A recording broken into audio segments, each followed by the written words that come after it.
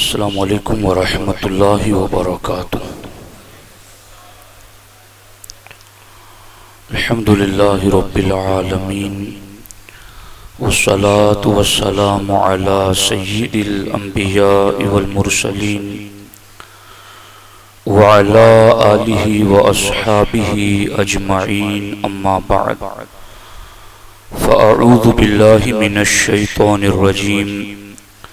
बिस्मिल्लाहिर्रहमानिर्रहीम। फस्तकीम कमा उमिरत अज़ीम। व सदक़ रसूलुहुन नबियुल अमीनुल मुख्तारुल करीमुर रऊफुर रहीम। लाई के सद एहतराम, मुअज़्ज़ज़ मुकर्रम, हज़रत मौलाना मोहम्मद मुबारक हुसैन साहब किबला साबरी हज़रत मौलाना मोहम्मद जाबिर साहब किबला नजमी। हज़रत हाफिज शकील साहब किबला। जुमला हाजरीन महफिल। हम और आप उनतीसवीं शब माह रमज़ान की। उसमें शब कद्र की बरकतें हासिल करने के लिए बैठे हुए हैं।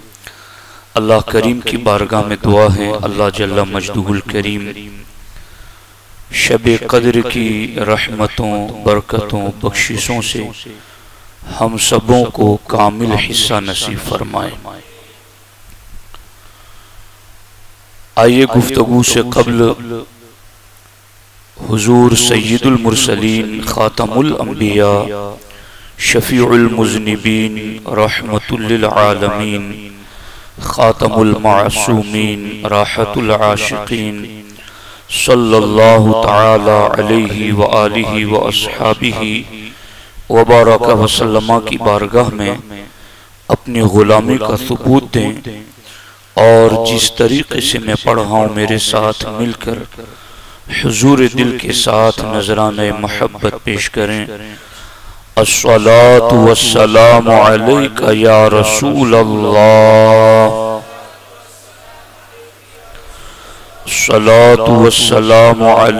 या हबीब अल्लाह सलातु या नबी अल्लाह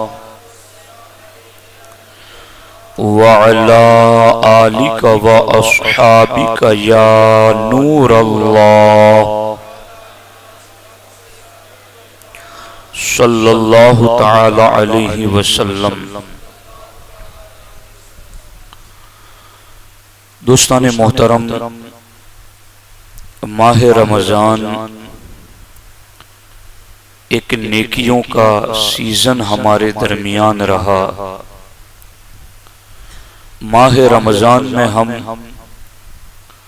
अजान फजर से पहले उठकर शहरी का एहतमाम करते, शहरी से फारिग होने के बाद सीधे मस्जिदों की तरफ़ चलते। मस्जिद में पहुंचकर अजान फजर सुनते, सुन्नत फजर पढ़ते। कुरान की तिलावत करते। और जमात फजर के इंतज़ार में बैठते मस्जिद में। पूरा दिन हमारा यूँ गुजरता कि पाँचों वक्त बाद जमात नमाज़ की पाबंदी। नमाज़ के बाद तिलावत कुरान। तस्बीह ज़िक्र असकार अल्लाह की राह में सदका व खैरात। ये तमाम आमाल हम महीना भर मुसलसल पाबंदी से करते रहे। यहाँ तक कि नमाज़ ईशा की सत्रह रकातों के साथ बीस रकात नमाज़ तरावीह हम पाबंदी से पढ़ते रहे। इस तरीके से हमारा पूरा माह रमज़ान यूँ गुजरा। कि हमने अपनी निगाहों पर भी हया का पर्दा बिठाया। हमने अपने कानों को भी म्यूज़िक और गलत बातों के सुनने से बचाया। हमने अपनी ख्वाहिशात को भी कंट्रोल में रखा। हमने झूठ गीबत बेहयाई बदकलामी से भी अपने आप को बचाया। यहाँ तक कि माह रमज़ान एक ऐसा हमारा पुरनूर महीना रहा जिसमें हम मुकम्मल अल्लाह की तोफीक से उसकी इतात उसके महबूब की फर्मा बरदारी करते हुए माह रमज़ान गुजारते रहे। अब हमारा अगला सब्जेक्ट क्या होगा? कुरान मजीद में अल्लाह रब्बुल इज़्ज़त ने अपने महबूब सलाम को हुक्म दिया कमा उमिर था अय महबूब, आप और आपके वसीले से आपकी उम्मत। दीन के इन अहकाम पर जमे रहना जिनका आपको और आपके वसीले से आपकी उम्मत को हुक्म दिया गया है। तो वो वो काम काम वो हदीस बाजाबता जिस हदीस को उम्मत ने दीन इस्लाम की बुनियादी हदीसों में से एक हदीस करार दिया। हादा अहदुल अहादीसलती अलैहा मदारुल इस्लाम। के वो हदीस जिसके ऊपर पूरे इस्लाम का दारो मदार है। वो हदीस कौन सी है? वो हदीस वो है जिसमें अल्लाह के रसूल सलाम की खिदमत में हज़रत अबू अमरा सुफियान बिन अब्दुल्लाह रदी अल्लाह तु ने बारगाह रिसालत में कहा कुल्ली फिल इस्लामी कौलन। ला असअलु गैरक। ए अल्लाह के रसूल सलाम आप मुझे इस्लाम की कोई एक बात ऐसी बता दें। ला असअलु अहदन गैरक। कि जिस एक बात के बाद मुझे इस्लाम की कोई बात किसी से पूछने की ज़रूरत न पड़े। बस एक बात मुझे बता दे। तो हमारे आका सलाम ने पूरे समंदर को कूजे में जमा करते हुए इरशाद फरमाया कुल आमंतु बिल्लाह सुमस्तकीम तुम मान लो कि मैं अल्लाह पर ईमान लाया फिर उस पर जम जाओ। ये वो बात है जो पूरे इस्लाम का खुलासा है। मदारुल इस्लाम इस हदीस को करार दिया गया। क्या मतलब इसका?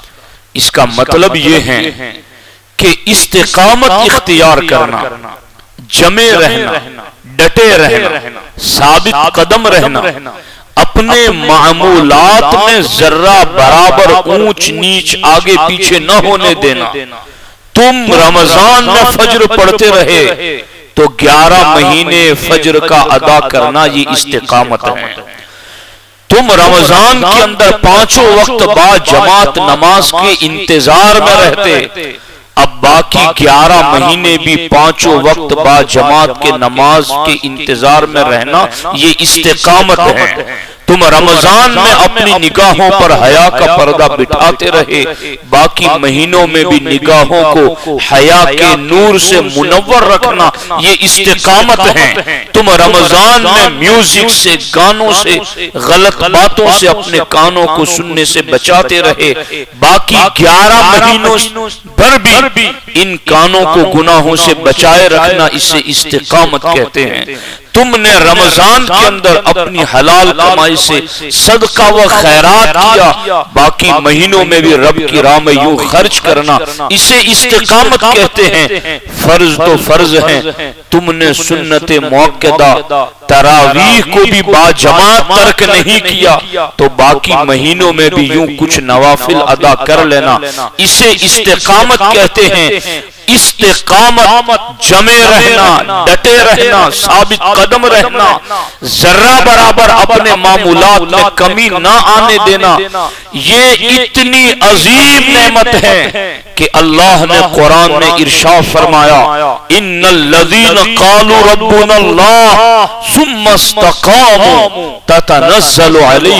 मलाइका।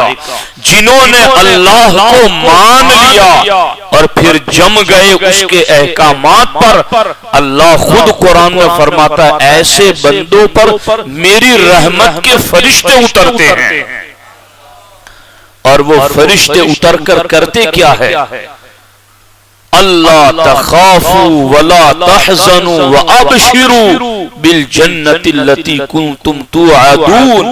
वो फरिश्ते उतर कर कहते हैं गम न करो डरो नहीं।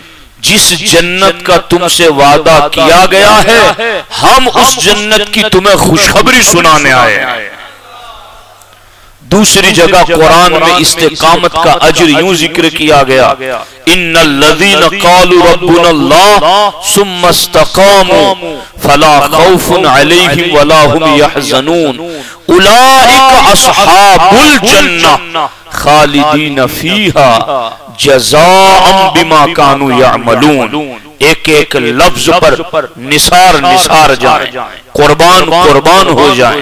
रब फरमाता है जिन्होंने अल्लाह को मान लिया फिर उसकी बातों पर जम गए। दुनिया तो दुनिया आखिरत में भी उन्हें कोई खौफ और गम नहीं होगा। उलाइका जन्ना उन्हें गम और खौफ क्यों हो? रब ने इन्हें जन्नत अता फरमाई है। खालिदीन फीहा एक दो दिन दस पंद्रह दिन साल दो साल सौ दो सौ साल के लिए नहीं वो उस जन्नत में हमेशा हमेशा रहेंगे। क्यों ऐसा जजाम बिमा कानू या मलून? अल्लाह फरमाता है मैं इन्हें जन्नत क्यों न दूँ? उन्होंने अमल ही मेरी रजा वाले किए थे। और फिर उन अमलों पर पूरी ज़िंदगी जमे रहे थे। तो अब मैं उन्हें वो अपनी ज़िंदगी पर मेरे हुक्म पर जमे रहे। अब मैं अपनी रजा से उन्हें हमेशगी की जन्नत अता करूँगा। तो ये इस्तेकामत का अजर है। ये इस्तेकामत का सवाब है। इस तरह हमें नहीं रहना कि रमज़ान का चाँद नज़र आया तो शैतान जैसे बंद गया तो हम मस्जिद आ गए। अब चाँद ईद का नज़र आए तो शैतान जैसे छूटा। हम भी उसके हवारी बनकर छूट जाएँ। वो पकड़ से छूटा हम हम मस्जिद से छूटे। हम अल्लाह की राह से छूटे हम नेकियों से छूटे तो फिर इस्तेकामत वाली बरकत कैसे मिलेगी? इस्तेकामत वाला फैज कैसे मिलेगा? इस्तेकामत वाली रहमतें कैसे मिलेगी? इस्तेकामत का अजर सवाब इतना ज़्यादा है। रब कुरान में फरमाता है वह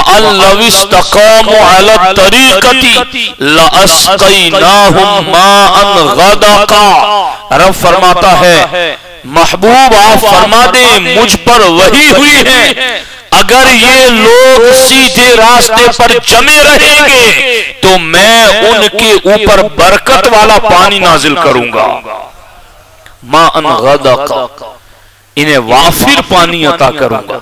और हदीस पाक में इस्तेकामत की बरकत यहाँ तक हमारे आका सलाम ने ज़िक्र फरमाई इस्तकीमो तुहसू। जैसा कुरान में है ना वो इन तुहसूहा। कि अल्लाह की नेमतों को गिनना चाहो तो ला तुहसूहा मिनल एहसा तुम गिन न सकोगे। यहाँ रब ने फरमा इस्तकीमो वलम तुहसू। जमे रहना। रब अजर इतना देगा कि तुम इसको गिन न सकोगे। शुमार न कर सकोगे।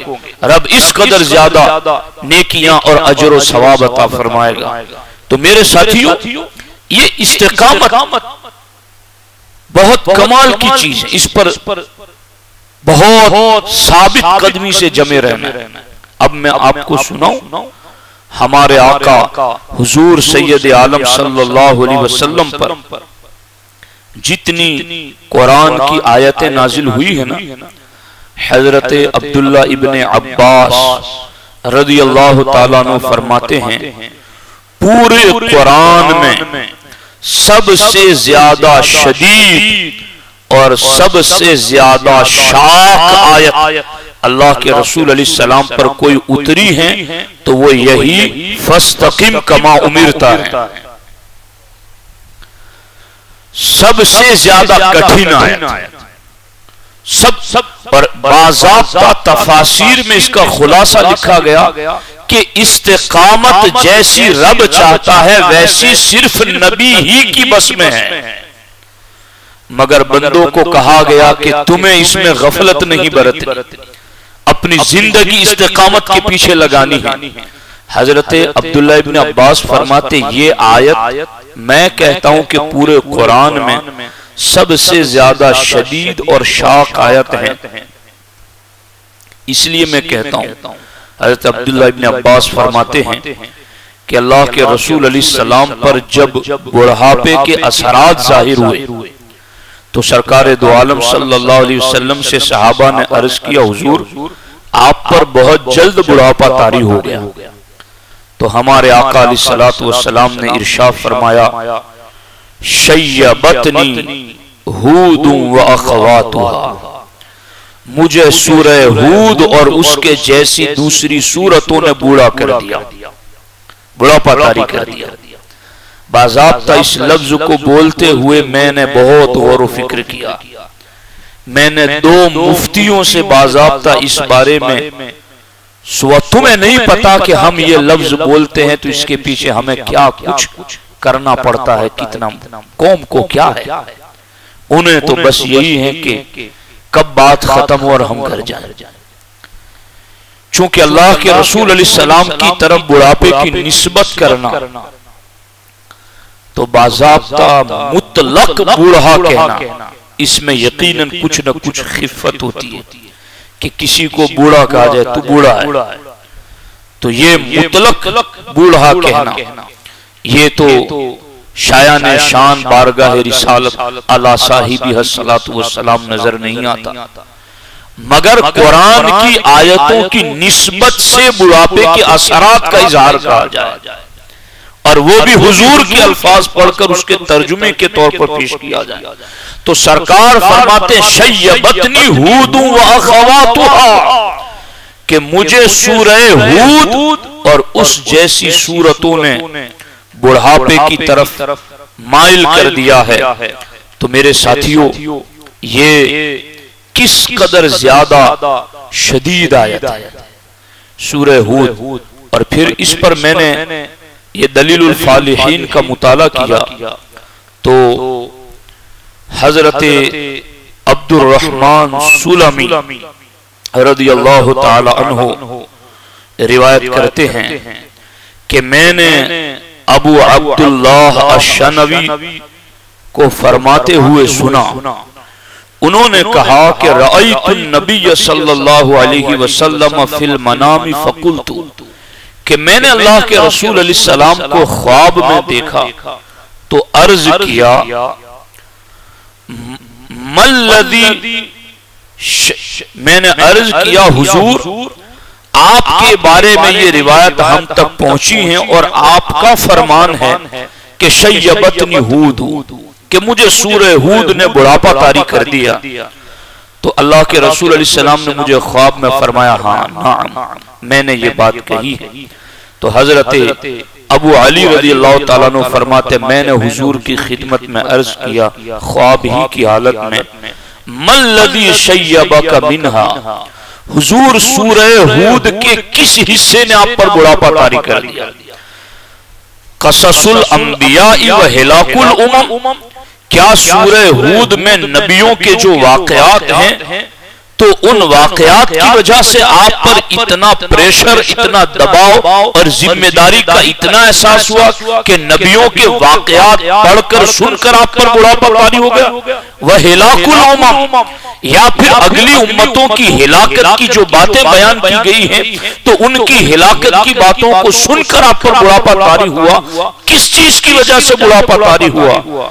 सरकार दो आलम सल्लल्लाहु अलैहि वसल्लम ने फरमाया अल्लाह ना नबियों के किस्से सुनकर मुझ पर बुढ़ापे के असरा ज़ाहिर हुए। और ना ही अगली उम्मत की हिलाकत की बातें सुनकर मुझ पर बुढ़ापे के असरा ज़ाहिर हुए। लाकिन कौलुहु फस्तकिम कमा उमिरता। लेकिन लेकिन पूरी सूरह हूद में सिर्फ़ आयत का इतना टुकड़ा फस्तकीम कमा उमिर था। जब ये मुझ पर उतरा तो उसकी शिद्दत की वजह से मुझ पर बुढ़ापे के असर ज़ाहिर हो गए। ये है इस्तेकामत। मैं तो आपको सुना रहा हूँ मगर ये बोलते बोलते आपके कानों से ज़्यादा मैं अपने दिल को सुना रहा हूँ। इस्तेकामत की ज़रूरत आपसे ज़्यादा हम ओलमा को हैं जमे रहो दीन पर डटे रहो दीन पर हालात कैसे भी हो आप गुर्बत में हो उसरत में हो युसरत में हो तंगी में हो खुशहाली में हो मर्ज में हो सेहत तंदुरुस्ती के अंदर हो औलाद के साथ हो बे औलाद हो जिस पोजीशन के अंदर तुम रहो तुम्हें दीन के अहकाम पर जमे रहना। डटे रहना। तुम्हें शिकवा नहीं करना। शिकायत नहीं करनी। तुम्हें अल्लाह की रजा पर राज़ी रहना है। बल्कि मैंने तो यूँ सहाबा की तारीख पढ़ी कि मौला मुर्तजा को जब जरब तलवार पर लगी और यहाँ तक उतर आई। और दाढ़ी से खून के कतरे गिरने लगे। तो हाय वाय नहीं किया बल्कि फ़ौरन उनकी ज़ुबान से ये लफ्ज निकले। फुज तो भी रबिल काबा। रब काबा की कसम अली कामयाब हो गया। तो मसाइब शदाई तकलीफें अमराज ये किसे नहीं पहुँचते हैं? मगर सरकार फरमाते मुझे जिस आयत के टुकड़े ने इस कदर ज़्यादा प्रेशराइज किया। और इस कदर ज़्यादा मुझ पर शदीद आयत आयत जिसके हुक्म की वजह से मुझ पर बुढ़ापा तारी हुआ। वो यही था कि जैसे आपको हुक्म दिया गया महबूब आपको इस पर जमे रहना है। तो मेरे साथियों ये सोडा की बोतल की तरह के बस उसका ढक्कन खोला तो थोड़ा उभार आया फिर बैठ गया। ये रमज़ान का चाँद नज़र आया तो उभार आया फिर ईद का चाँद नज़र आया सब गायब। गायब। ये कहाँ की मुसलमान? ये कहाँ का इस्लाम? ये इस्लाम आपने ये वाला इस्लाम किससे पढ़ा? किसने आपको पढ़ाया? क्या रमज़ान में रोज़े फ़र्ज़ है तो बाकी ग्यारह महीने नमाजें फ़र्ज़ नहीं है। क्या रमज़ान में अल्लाह को राज़ी करना ज़रूरी है तो बाकी महीनों में रब की रजा नहीं है। क्या रमज़ान में हुजूर सलाम की रजा मतलूब है तो बाकी महीनों में हुजूर की रजा मतलूब नहीं है। इसलिए अब अगर मैं किसी और महीने में ये तकरीर करता आपके सामने और आपको कहता नमाजें पढ़ो सबका खैरात करो और गुनाहों से बचो। तो आप कहते कि मौलाना अब कैसे बचे? मगर रमज़ान ने आकर हम पर इतना करम कर दिया कि एक महीना हमारी तरबियत कर दी। एक महीना हमारी प्रैक्टिस कर दी। एक महीना हमें उठना जगना सिखा दिया। एक महीना भूखे प्यासे रहना सिखा दिया। एक महीना बीस बीस रका तरावी में एक एक पारा सवा सवा पारे में खड़े रहना सिखा दिया। रमज़ान ने आकर के हमें तस्वीर सिखा दी तिलावत सिखा दी ज़िक्र असकार सिखा दिया। उसकी राह में आँसू बहाना सिखा दिया। सब कुछ सिखा दिया। अब क्या उज्र रह गया? अब क्या बहाना रह गया? क्या हीला हवाला रह गया कि हमें नहीं आता हम उठ नहीं पाते। अरे जैसे उठते रहे वैसे ही उठते रहना। जैसे नमाज़ पढ़ते रहे वैसे ही पढ़ते रहना। जैसे खुदा को राज़ी करते रहे वैसे ही राज़ी करते रहना। अगर यूँ इस्तेकामत इख्तियार कर ली तुमने तो ज़िंदगी में तुम्हें इसका एहसास न हो सका तो न हो सके मगर तुम्हारी जान निकलेगी तो रब के फरिश्ते तुम्हारी कानों में आकर तुम्हें जन्नत की खुशखबरी ज़रूर सुनाएँगे।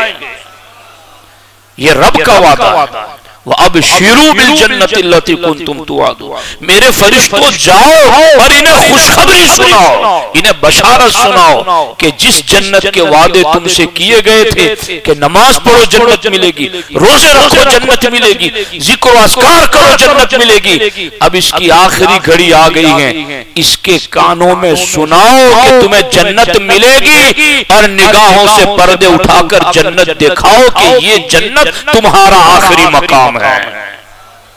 मगर इस्तेकामत हो। इस्तेकामत अब मेरे पास और कोई सख्त लफ्ज नहीं जो मैं आखिरी रात में आपके सामने बोलूँ। और क्या कहूँ? हम वो हाकिम इस्लाम तो नहीं कि कोड़े लेकर निकले और तुम्हें घरों से निकाल के मार के नमाज़ पढ़ाए।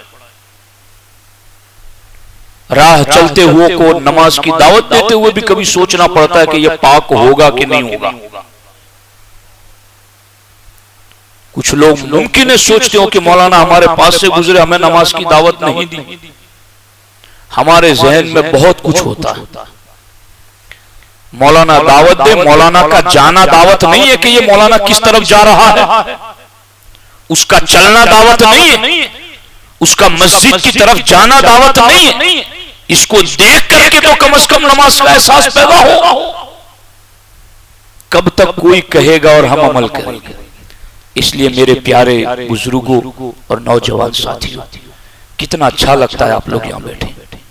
कितना खूबसूरत काश के आप हमारे दिलों को भी यूँ ही बारह महीने खुश करते रहे। काश यूँ ही आप अल्लाह रसूल को खुश करते रहे, आते रहे। मेरे साथियों, मेरे तुम्हारे जैसे कड़ियल जवान आए और चले गए। हमारी दुकानें, मकानें, इमारतें, गाड़ियाँ सब यहाँ रह जाएगा। हमारे सजदे हमारी कब्र में आएँगे। हमारी नमाजें हमारी कब्र में आएँगी। कोई तुम्हें याद नहीं रखेगा। हालात तो देखो। जिस दिन दफनाते हैं उसी दिन रात को खत्म का ऐलान वहीं कर देते वहाँ खत्म करके उसको आए वहाँ यहाँ रात को पढ़ करके खत्म। सुबह से दुकान खुली मकान चालू काम चालू। कुछ इबरत पकड़ो कोई याद नहीं रखेगा। इतने फॉरवर्ड आप हो गए हो तो आपकी औलाद कितनी फॉरवर्ड होगी? कुछ आखिरत का सोचो। और कुछ फ़िक्र करो। माह रमज़ान ने हम पर बड़ा एहसान किया। बस उसके एहसान को मानो। और ये दिल जो नमाज़ की वजह से तरावी की वजह से रोजों की वजह से पाक हो गया अब इस पर मैल गुनाहों का न लगने दो। प्लानिंग पिकनिक पॉइंट के छोड़ दो। घूमने घामने के ख्याल छोड़ दो। जाओ तो मजारात की हाजिरी के लिए जाओ। और वहाँ बैठ करके भी कुरान पढ़ो। वहाँ जाकर के भी मन्नत मानो कि मैं वहाँ पहुंचूँगा। सौ रकात नफल नमाज़ पढ़ूँगा। ये करने वाले काम। अपनी ज़िंदगी का इंजॉय जो कुछ है वो कुरान से है अल्लाह के रसूल के फरामीन से। और इससे जिसको लज्जत मिल जाएगी वो फिर इसी में मस्त अलस्त रहेगा। मेरे साथी अब मैं आपके सामने एक दो बातें और भी अर्ज़ कर देता हूँ। और फिर इस पर गुफ्तगु को खत्म करते हैं। हालाँकि इसमें बड़ी बातें हैं कि इस्तेकामत कैसे इख्तियार की जाए। मैं ओलमा कराम की खास तवज्जो चाहता हूँ। सूफिया कराम ने फरमाया इसको अल्लामा अली कारी रहमत ने भी मिरकात में लिखा है और इमाम अबुल कासिम अब्दुल करीम बिन हवाजिन अल कुशैरी ने भी लिखा है और बाकी अइमा सूफिया ने भी लिखा है कि एक इस्तेकामत हज़ार करामतों से अफजल है। एक इस्तेकामत। अल इस्तेकामत फौकल करामत। एक इस्तेकामत हज़ार करामतों से अफजल और इमाम अबुल कासिम फरमाते हैं कि इस्तेकामत वो दर्जा है जिसके सबब से तमाम उमूर कमाल और तमाम को पहुँचते हैं। तमाम उमूर कमाल और तमाम को पहुँचते हैं। और उसी की वजह से तमाम नेकियाँ हासिल होती हैं। और जिस शख्स को अपने किसी हाल में इस्तेकामत हासिल न हो उसकी कोशिश रायग उसकी जिद्दोजहद बेसूद होती है। और जो शख्स अपनी किसी सिफत में मुस्तकीम न हो वो अपने मकाम से तरक्की नहीं कर सकता। ये अपने मकाम से ये कोई कुर्सी वाला मकाम नहीं ये रूहानियत का मकाम कि वहाँ से अगर ऊपर जाना है तो इस्तेकामत के बगैर कोई चारा आगे देखिए हर शख्स अपना अपना दर्जा देख ले। फरमाते हैं एक है मुबतदी एक है मुतवसित और एक है मुंतही। मुबतदी माने शुरुआत करने वाला। मुतवसित जो बीच रस्ते में पहुँच गया ये रस्ते रूहानियत की बात हो रही है और मुंतही जो आखिरी दर्जे पर इन तीनों की इस्तेकामत क्या है? इरशाद फरमाते हैं मुबतदी में इस्तेकामत की अलामत यह है कि उसके मामलात में सुस्ती ना आए। उसके मामलात में सुस्ती ना ये मुबतदी है। अल्लाह अकबर अल्लाह अकबर अल्लाह अकबर तो हम हम यानी हम ओलमा होकर आप हमें क्या से क्या समझते हैं? अब हमें सोचना पड़ेगा कि हम मुबतदी में भी है कि नहीं? मुबतदी। शुरुआत उसमें इस्तेकामत की अलामत यह कि उसके मामला में सुस्ती ना आए। और मुतवसित में इस्तेकामत की अलामत यह है कि उसकी मनाजिल में वक्फा ना आए।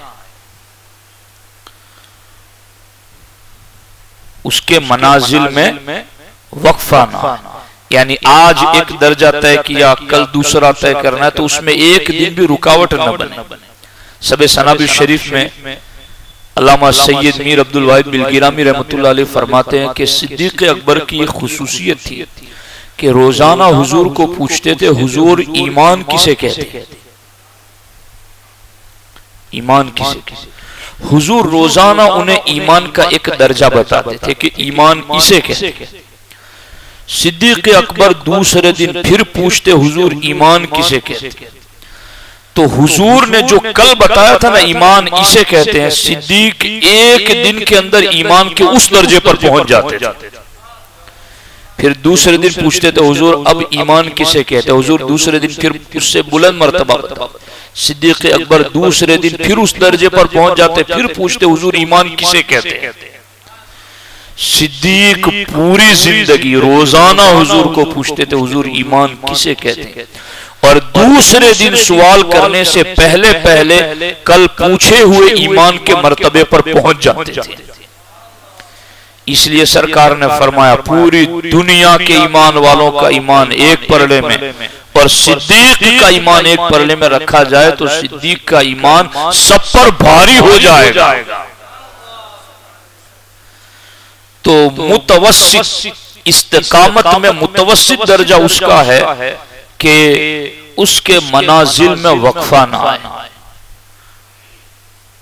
तरक्की होती ही रही।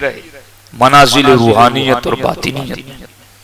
और फरमाते हैं मुंतही मुंतही। में इस्तेकामत की अलामत यह है कि उसके मुशाहदात में हिजाब ना आए।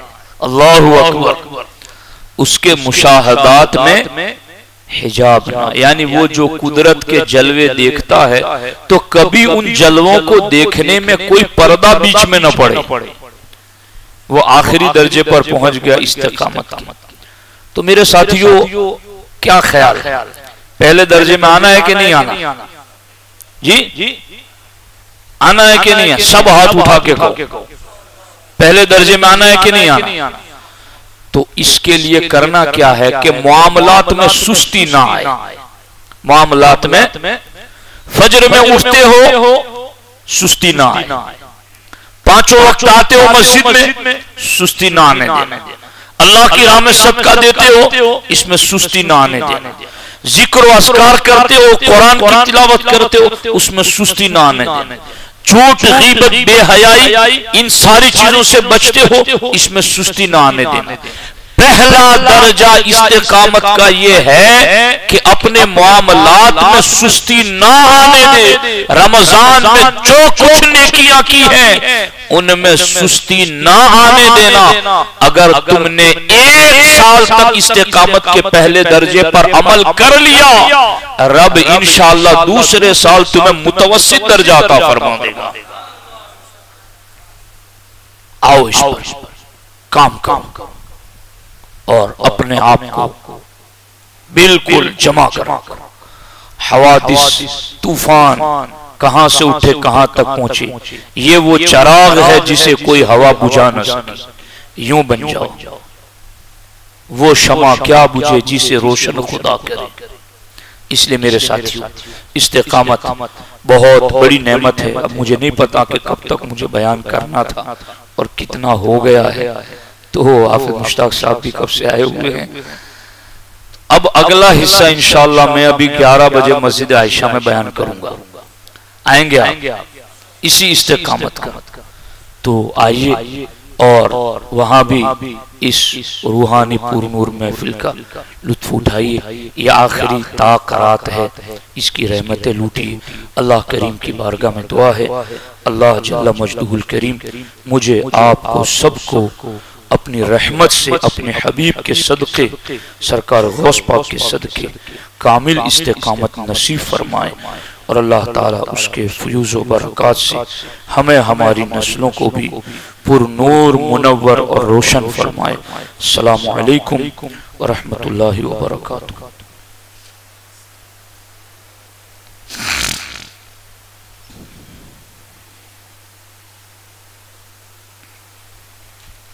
करेंगे